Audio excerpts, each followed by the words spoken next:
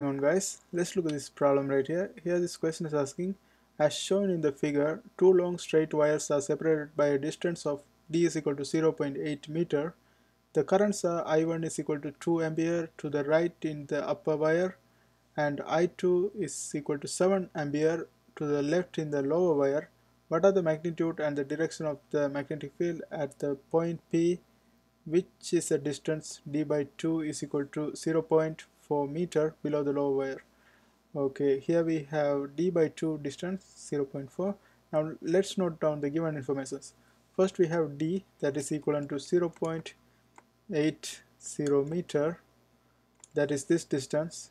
This is 0.80 and then after that we have the i1 current. I1 current is 2 ampere. Okay this current here the 2 ampere. Then i2 is 7 ampere the bottom current. And then what are the magnitudes? Okay we have d by 2 distance that is 0.4 so this one is 0.4 let's call this one x2 x2 x2 is equal to because we have this from here to here x2 right?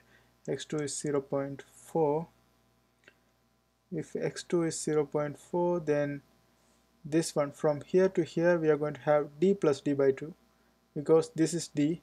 The d is going to be multi two times of this one right? So that's going to be 0.8 plus this one that's going to be 1.2 because the total d plus d by 2 that's going to give us 3d by 2 right? 3d by 2 that's how we got 1.2 right here. And that's it.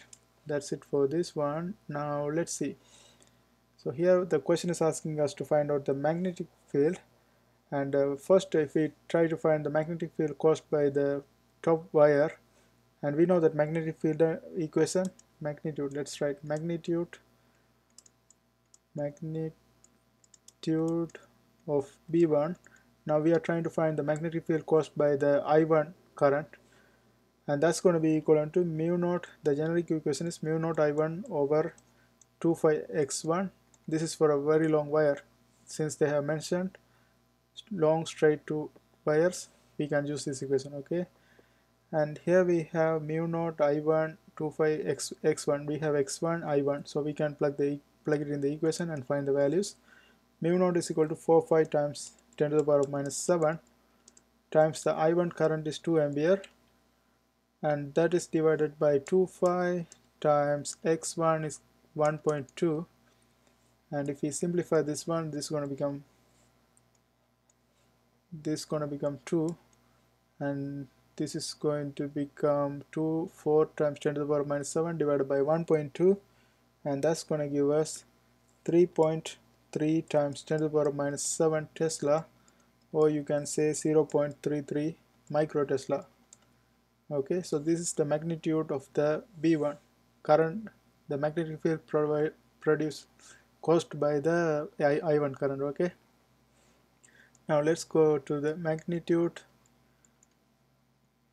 Magnitude of B2 now we are going to find out the magnetic field caused by the I2 current.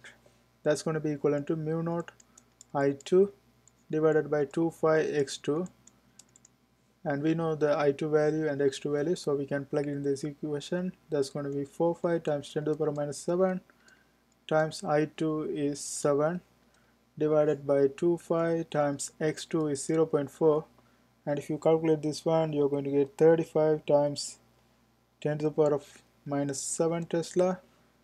In micro Tesla this is going to be 3.5 micro Tesla.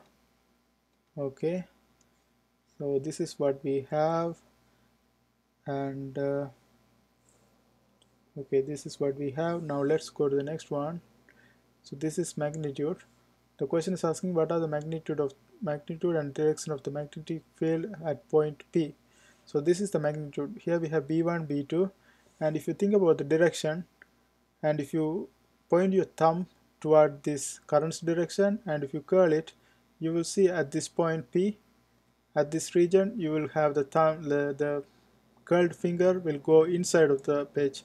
So for this one the direction is inside okay? For b1 the direction is inside.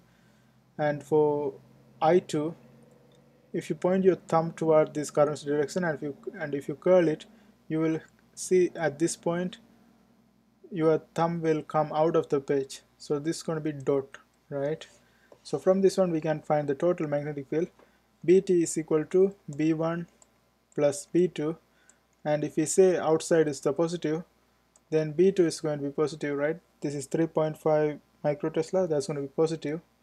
3.5 then this is going to be negative because this is in the inside direction.